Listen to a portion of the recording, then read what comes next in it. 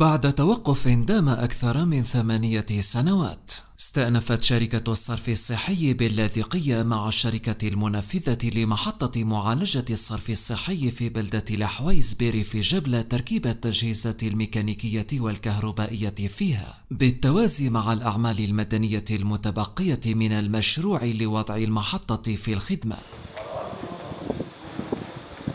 بوشر العمل بالمحطة في عام 2010 المحطة آه، بلغت الكلفة الإجمالية للمحطة 125 مليون بهذيك الأيام إضافة إلى كلفة للتجهيزات الميكانيكية والكهربائية المستوردة من خارج القطر بكلفة أكثر من مليارين ونص ليرة سورية. فمنذ حوالي آه، أقل من من ثلاث أشهر استطعنا أن نؤمن التسهيلات اللازمة لتوريد التجهيزات الميكانيكية والكهربائية لهذه المحطة. فالمحطة يصل إليها محورين الروسية دغرامو الحويز ومحور ثاني كفرد بيل سيانو الحويز المحور الثاني بطول حوالي 11 كيلومتر ينتهيان إلى مو... إلى محطة المعالجة.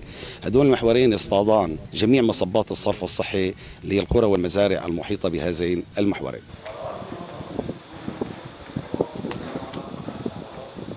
المشروع تقريبا آه، منتهي كأعمال مدنية وعم يتم حاليا توريد آخر شحنات من التجهيزات وتركيبها. والأعمال المدنية الباقية مرتبطة بتركيب التجهيزات. المواصفات الفنية عم تطبق بنسبة 90% فما فوق. إن شاء الله خلال آه، أقل من سنة يكون المشروع قيد الاستخدام.